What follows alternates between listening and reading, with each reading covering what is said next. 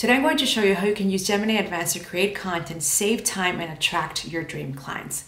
Let's go. First thing I want you to do is go to Gem Manager right over here, and you're going to see that this is a new feature inside of Gemini Advanced that acts as a specific AI assistance. So because we're focusing on creating content, I want you to go and click on this blue pill to create your own new gem and not use a pre-made by Google. I'm going to show you how you can create your own. So first of all, title it. After that's done, now comes a part of the instructions, the most important part. In this box, you're going to focus on saying, what is it you do and what is it you offer? After that's done, then you're going to focus on explaining who is your target audience, what are their pain points? What is their desires? And what is your offer?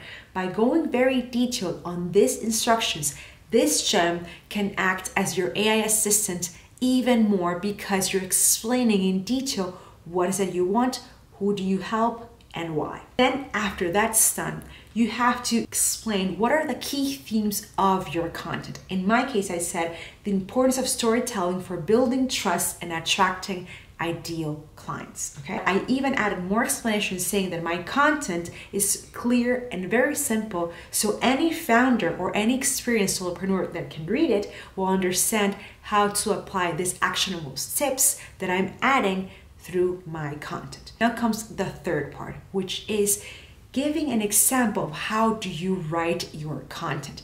In this case, I said, this is my writing style. And what I did is that I grabbed a post from my LinkedIn account and put it over over here and said, this is a way that I write.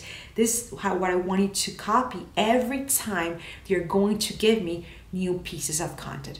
Why this part is so important because the more specific you are with the instructions you're adding to this gem, the better content is going to create for you and it's going to save you time. Save and that's it, you have your gem right over here. So now that I explained that, let's go to a final tip that I want to add to you.